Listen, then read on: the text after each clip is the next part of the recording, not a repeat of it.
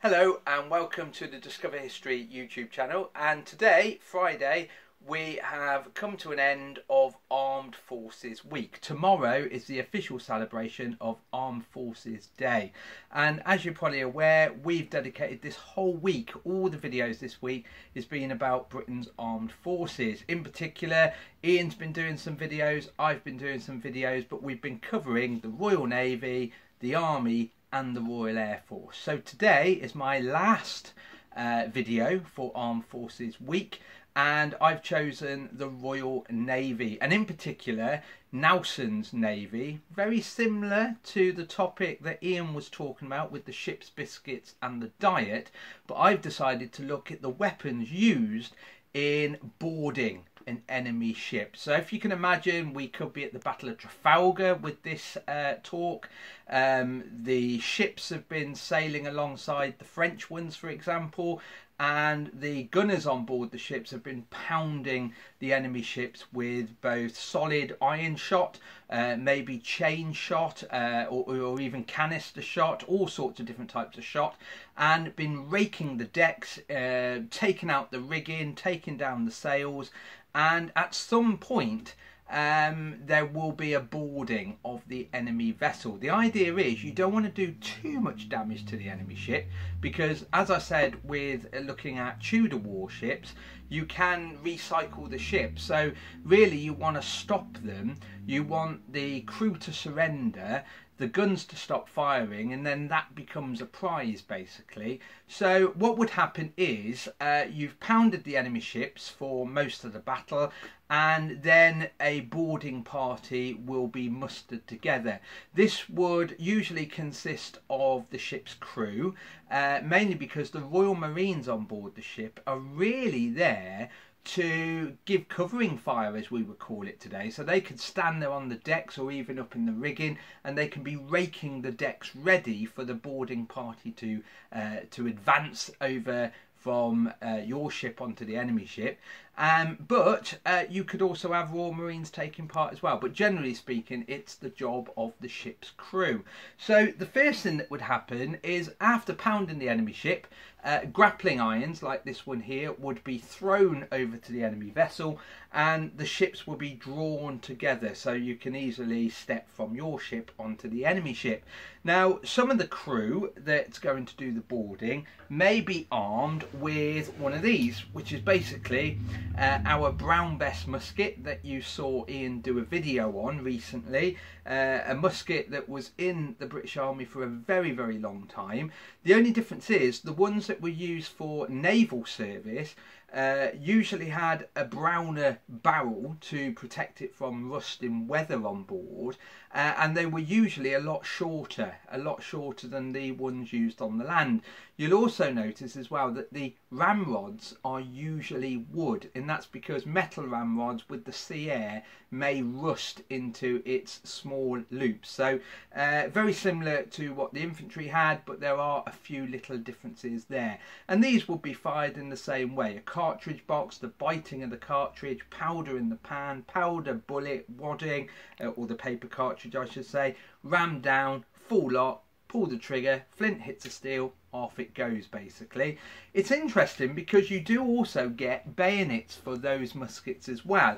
However, the likelihood of you fixing a bayonet is pretty slim. It's more likely to be the weapon that you fire uh, and then you turn it around and club people with the other end. That was your typical use of a musket on board ship.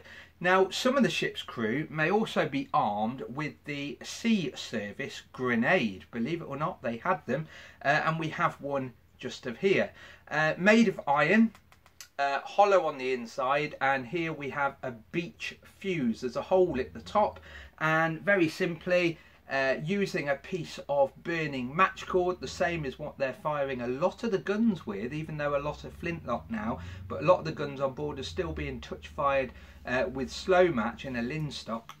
Um, basically, this would be burning away as a fuse you would light the beechwood uh, fuse and then throw it onto the enemy deck and it will roll onto the enemy deck and explode sending bits of metal absolutely everywhere. More of a terrifying psychological weapon than anything. And then obviously you would leap across onto the enemy decks, maybe with your musket in hand, maybe with a handful of grenades or a satchel full of grenades. But then there was a mixture of weapons that could be used. This is my royal navy blunderbuss. So this is loaded the same way as any other musket really. But the wide opening at the end there allowed all sorts of things to be thrown in there and it was a scatter shot weapon. So when you pull the trigger all sorts of rubbish flies out the end at point blank range. Very very good at clearing a deck when you're trying to get on one. This is a sea service one uh, and this one actually has the ship's name stamped onto the barrel work just there. Um, other weapons included uh, pistols. These were usually issued from the sea chests that were on board the ship uh, and they were usually issued in pairs so you could have one in each hand firing them as you jump aboard and also turning them around and clubbing people with the other end which is what they were quite useful for. Especially in bad weather, uh, these would be guaranteed to work as a club more than a firearm. Then we've also got what was known as the pike. Now, some people mis uh, some people actually uh, label these incorrectly as a boarding pike. Uh, when you look at the ship's listings, they're actually down as a pike. That is all they are. Technically, they're not pikes at all because, as we know, pikes are something that's a good uh, 16 to 18 feet in length as used in the 17th century. Uh, so they had what was called, uh, or what we would call today, a half pike. But as I said, on board a ship, they're actually known as pikes, not boarding pikes, and they are more a defensive weapon than anything. So these will be used literally to stab at people when they're trying to jump on your ship, really. Um, if you ever get a chance to go to places like HMS Victory, uh, they were usually kept upright around the masts of the ship, so you could literally grab one, lift it off, and fight with it. Very much like a spear, really. Um, we do also have um, a sea service cutlass. So this is the actual issued boarding cutlass. So these are pretty heavy things and they have quite a long, straight, sharp blade. This isn't in the best condition, there's a bit of rust on this, but at sea you would really struggle to keep these in pristine condition. And this is nothing more than a butcher's cleaver. It's used for hacking down at the enemy sailors and also being used to stab at them with the sharpened point at the end. If you haven't got that, another useful weapon that you may have to hand is even the boarding axe, which is this dual purpose weapon here. This can be used as a weapon for obvious reasons. You've got a very broad cutting edge at this end and a, uh, a beak or spike at the back there, very much like the medieval poleaxes or, or uh, medieval uh, war hammers. Um, but this is also used to cut through rigging. If you've ever seen any scenes in paintings of uh, naval battles of the Napoleonic era, you will see that when you have cannonballs taking out sails in rigging, you often have on the decks of these ships all sorts of rubbish, very much like a barricade. So if you are going to board the enemy ship and you're jumping across with your uh, cutlass in your hand or even your brown bess or, or a blunderbuss or anything else like pistols, um, you may find it very difficult to get where you want to go. The enemy could be hiding or stood behind all their downed rigging. So this boarding axe is also useful for chopping through the tarred rope chopping through the wooden beams or maybe chopping through uh, even bits of mast that's in the way and that will then enable you to move further on board the ship and then move through the decks and hopefully the enemy should surrender. In other words, nail their colours to the mast and uh, down their colours and uh, hopefully have the uh, officers of the ship, the captains and so on, handing their swords over to the British uh, in in a, in, a, in a fashion of surrender.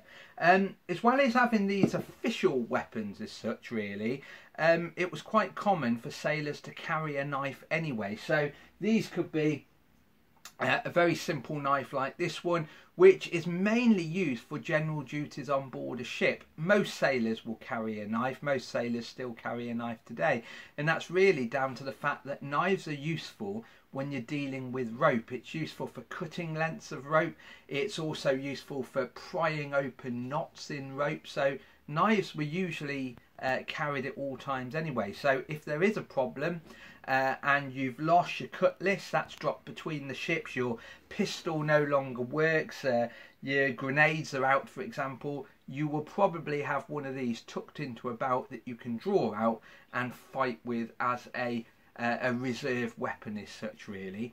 But it's interesting when you look at how battles were fought on board ships.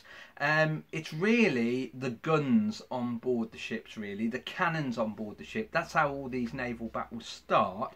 And then eventually, uh, hopefully, you will get a successful boarding. Um, when an enemy ship is sighted, usually you will get the beat to quarters. That's usually where the Royal Marines on board the ship will start beating to say that the enemy have been sighted.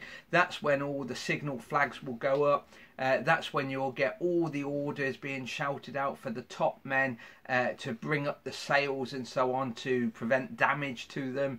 Uh, and then what would happen is all the decks will be cleared. The famous saying of clear the decks really anything that was not needed was usually packed away.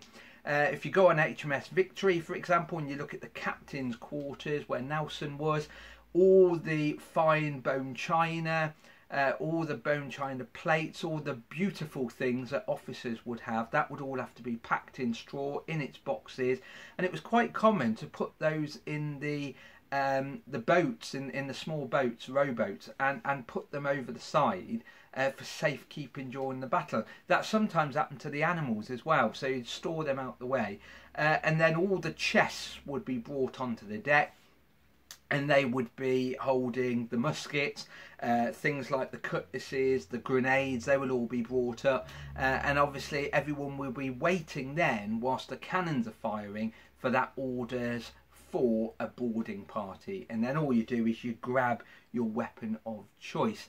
Anyway, that's been a brief introduction to how you would board an enemy ship in Nelson's day. Maybe we could do one about uh, the Tudors and how they would board an enemy ship. But an interesting fact Britain or the Royal Navy tended to fire at the enemy, whereas, for example, in the Spanish Civil War, uh, Spanish uh, Armada in 1588, it was quite common for the Spaniards to try and board. So the Royal Navy had a little different tactic uh, way back in the Tudor age. Anyway, on that note, have an enjoyable weekend. Remember, tomorrow is Armed Forces Day. It's also our 100th video.